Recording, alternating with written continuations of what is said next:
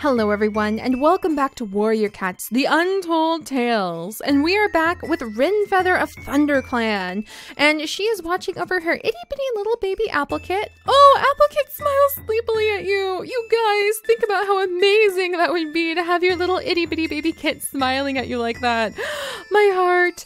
But little Applekit is here, uh, safe inside of the little brambles that we have made out of these goldenrod pieces, where he hopefully will be able to play with this tiny shiny thing and play with all of the apples we bring back so he knows his namesake with his father, Wild Nose. Wild Nose found something for us. What is it? Oh, it's a. What is it? It's a dead mouse. Thank you, Wild Nose. We are a little bit hungry, so that's really wonderful. All right, but we are back with Wrenfeather and Wild Nose of ThunderClan, and Wrenfeather has come to the realization that she is being chased down by RiverClan. Somebody somebody in RiverClan has decided that she needs to pay for the deaths that she has caused of the RiverClan lilies. I think actually she's only killed uh, one cat with the lily suffix um, in RiverClan, and then she's killed one cat with that in WindClan. But still, Silk Lily will never forgive the death of her sister. So let's see. Do I have a little bit of water over here? All right, we'll drink from a little piece of moss. So Wrenfeather has heard rumors when Ambusher Graypool actually showed up last time and tried to take us out. It is like they are sending their best assassin cats after us now. So she knows that there are cats coming for her. And Wrenfeather's not really sure how to deal with that other than the fact that she knows she has Applekit now little Applekit here in ThunderClan, and she will do whatever it takes to protect Applekit. So we're actually going to come and talk to trainer Maple Stripe, and we are going to become a more powerful warrior now. Oh my gosh, we have 79 experience points. Wow, hold your ground. Let's see. Claws, basic attack, hurts enemy cats. At higher ranks, your claws will become more lethal. We can do Feral Slash, a deep, oops, let's go ahead and sleep. A deep cutting attack that will leave your enemies bleeding. All nearby enemies are giving damage effect over time. Hmm, that may really suit us quite well. Let's go ahead and sleep in the brambles. We do need to recover a little bit of health after being ambushed by River Clan yesterday. Hmm. All right, so let's go ahead. Maple Stripe. I think we're going. Oh, did we just get more experience for sleeping? That's kind of cool. Uh, roar of the Lion. Make your enemies quake in fear with this powerful ancient roar. Cause your foes to run away in terror for a few moments. Charge. Launch yourself into battle in a frenzy so powerful that you could become temporarily invincible. These kinds of skills would be so cool to have in our Sims 3 series. And not anything where we have to like like oh here's enough experience points for a cat and we'll assign this here but it would be kind of cool if maybe like when the cat hit uh maybe oh, hunting level 5 or hunting level 10 or maybe every like second hunting level, we could give them a skill point for a specific skill. And maybe they could even sacrifice some of their hunting levels, like if they hit hunting level 10 but want to really develop the roar skill so they can become quite intimidating, we might like sacrifice half their skill points and they'd be back to 5 and have to train back up. And then they could develop their skills that way. That may be something fun to do in our Sims 3 series. I'll have to think about that. I think for now, we're going to give her Feral Slash because that sounds like something that an angry mama cat who's a little bit worried about her kit would really want. So we're going to take away Track Prey and we are going to add a whole bunch of Angry Slash. So she's got a lot, like rank 3 on Angry Slash now. That should make her a pretty good warrior. And she doesn't intend to be like a really powerful warrior, but she's she's done being pushed around. Wrenfeather is going to protect her kit. She is going to protect her clan. She is going to make sure that they are as well defended as she can possibly make them. And I think she's also going to become a mentor this time. Skystar has probably noted that she's got a little bit of a different personality about her lately. All right, the guards haven't seen anything interesting. So yeah, I think Skystar would have noted that she's got a little bit more of a commanding personality. The very timid, easily beat up little Wrenfeather of, I guess that would have just been, uh-oh, uh-oh. All right, we'll do Glare. Back off, you guys. Shadeheart, get out of here. Get out of here. Scout, it's Scout Blackheart. Oh, what kind of, what kind of devious cat do you need to be to be named Blackheart? Oh, he's so strong. Run, Run! Think we're not gonna make it. If I- Oh, he defeated Reinhardt! They came for him. Oh no, Wrenfeather, why? We were gonna we were gonna be noble. We were gonna be tough. We were gonna take them all out, and instead she's clinging to life already. Oh, so she understands she just needs to become a stronger fighter. All right, we'll have to line up more carefully. I think I'm just lining Wrenfeather. Poor Wrenfeather. She should be a good fighter by now, and I think I'm just like lining her up in an awkward direction. And so that makes it so she takes a lot of damage. Gosh darn, I didn't want to use up all of our beautiful, beautiful reputation that way. We worked so hard. We worked so hard to get that reputation. I think that Wrenfeather would remember the mice. So let me drink really quickly. She would remember the mice that we have up at the barn. So there's actually the barn, and that is all the way up um, I guess, is that near the carrion place? I don't think that's the carrion place. But Shadow Clan Camp has a bar next to it. I don't think that's the carrion place. But if it is, hey, we brought back a bunch of dead mice from there. So I hope the clan doesn't suddenly fall to a sickness.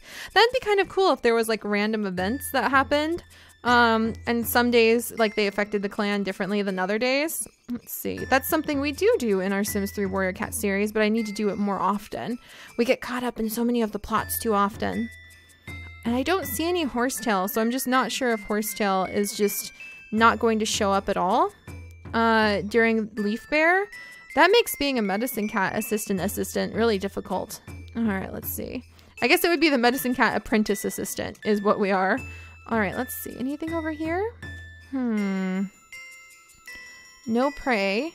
Yeah, I think this would convince Wrenfeather that she needs to go up to the barn and uh, Dark Heart. Let's get away.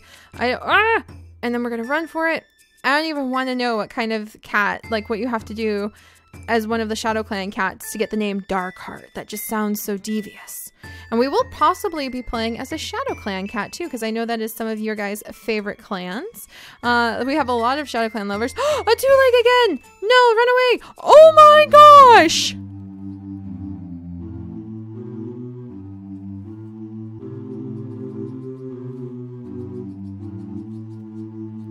Oh my gosh. Wrenfeather. It's been a year since that terrible day when Wrenfeather was lost on Thunderpath, hit by a monster while she was being chased by a two leg through the snow. It doesn't seem like the two leg really meant any harm. She was just a young child bundled up and playing in the snow, and she saw a cat and chased after it, but Wrenfeather was terrified and confused and ran out through the snow onto Thunderpath and never had a chance to see the oncoming monster. It was a very, very sad day for ThunderClan. Of course, RiverClan claimed that it was all part of StarClan's justice, but that didn't sit well with ThunderClan. Wildnose eventually wandered away, sad at the loss of his mate, and confused at how Cat seemed to justify her death by StarClan's justice. And finally, their kit, Applepaw, grew up into Apple Shadow. He gained the name Apple Shadow because even though he's a bit of a curious cat and he is a strong warrior and does well with ThunderClan, he has a bit of a shadow to him because of the loss of his mother so early while he was still a kid who could barely even speak, and the loss of his father who wandered away from the clan, disillusioned with its comforts because of how they seemed to justify the fact that that his mate died with the idea that she deserved it because of the accidental death that she had caused when she was younger. So that never set very well with Wild Nose, and he vanished. A lot of the cats have changed since that time. We have had a whole new slew of warriors born into the clan. We have a whole bunch of them right here all of a sudden. Ashfur, Greyclaw, and another warrior have just shown up, Birchpool. So they are this generation of warriors. You are welcome to snag, ooh, Ashfur, you're a nice calico. You are welcome to snag their names if you would like, uh, so you can do the role playing in the comments. But yes, you guys, I did say that if we ended up getting hit by a car or if we ended up dying, we would go ahead and just accept the death and then move on with Apple Kit. So Applekit has now grown up into Apple Shadow. And unfortunately, even though he has an odd talent and everyone tends to joke about it a little bit for finding apples, which aren't really useful to a cat. Um, oh, and let's run for it. Let's run for it. Oh my gosh.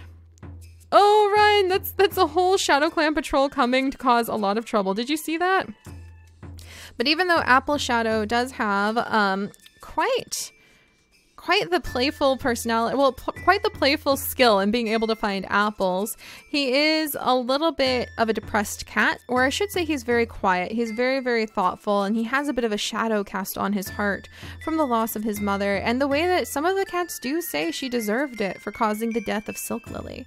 So that's a that's a lot to carry on one small cat's shoulders, and he is just recently a new warrior, so he doesn't really have any particular skills, and he does need to gain a little bit of a reputation. The odd effect of his mother passing away the way she did, and having just become a stronger warrior, is that she did leave a little bit of a legacy that he was able to ride off of when he became a warrior. So Skystar expects big things from him. Nightfeather is still around as the elder.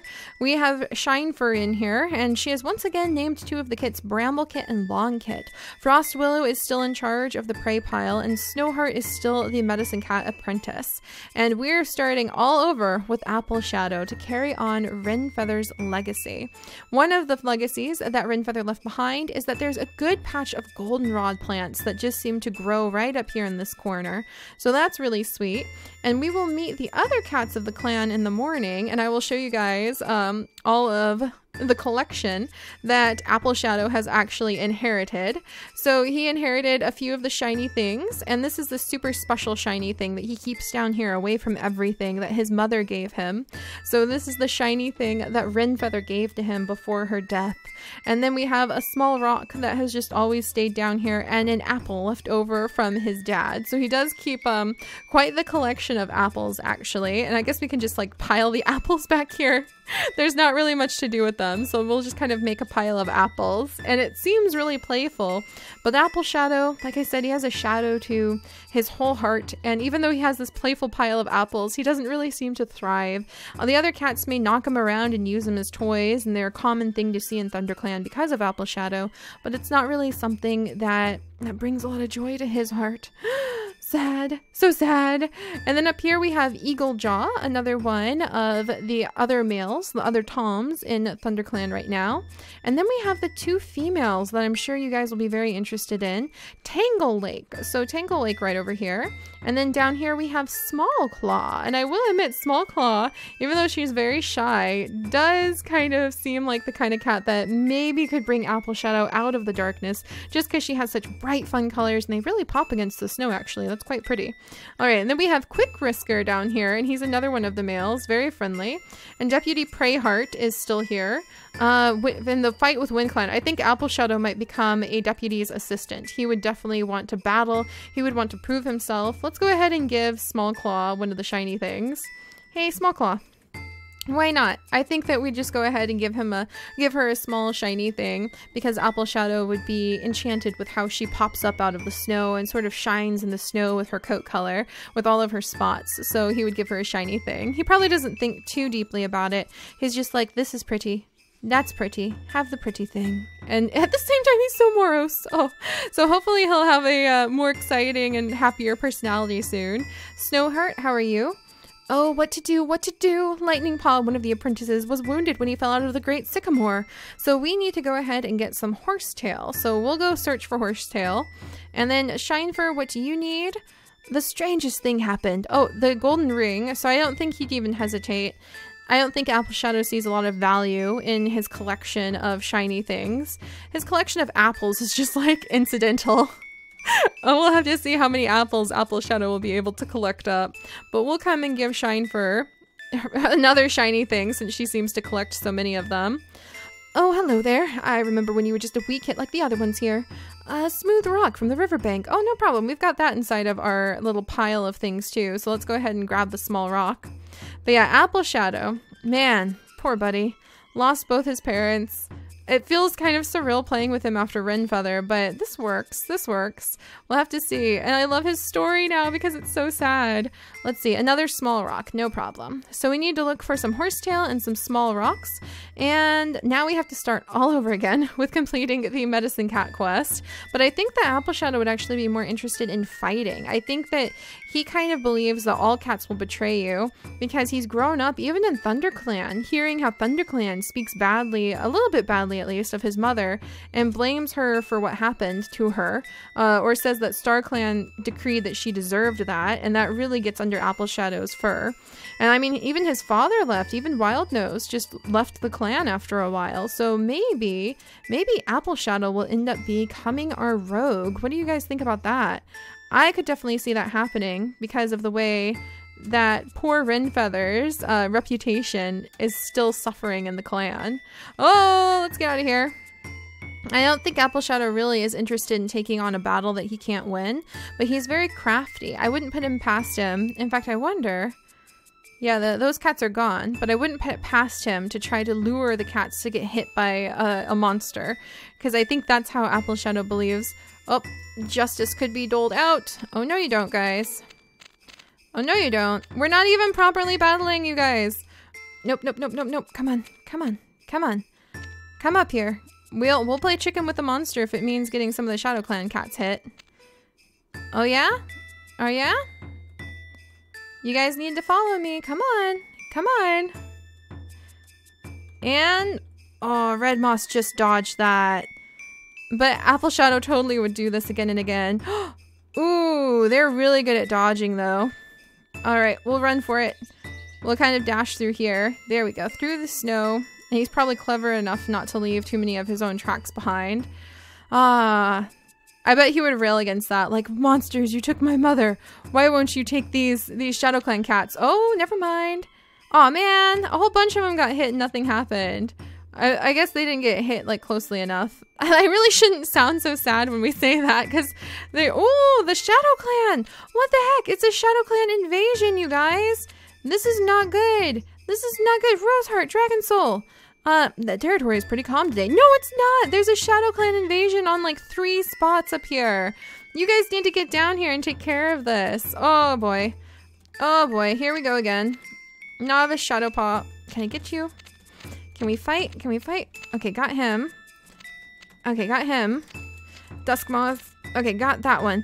We did it! We did it! We defended this stretch of the territory from Shadow Clan. Wow, Apple Apple Shadow really does have a pretty good a pretty good battle ability. Huh. Maybe he's he is meant naturally for battle maybe that experience will make him want to go ahead. Whoops, sorry about that. Make him want to go ahead and try battling the Wind Clan invasion. We'll drink up some of the snow from this moss. But I wonder if that experience would actually make him want to go ahead and try battling Wind Clan for the invasion that they have over by Four Trees that we keep having Deputy Preyheart talk about. All right, Apple Shadow. We're gonna go ahead and drop off. I mean, look, he's like better at fighting than I ever managed to pull off with Wrenfeather. So we'll drop these off and then let's come on over. And before we run out of the opportunity to, we're going to buy one of the bonus coins so that he has another bonus coin. And we're gonna let him get a little bit of sleep and maybe even bring one of the little goldenrod flowers. We'll go ahead and bring that over to Small Claw, just, just because, just because. There we go. There you go, Small Claw. They don't really have a lot to talk about yet, it seems.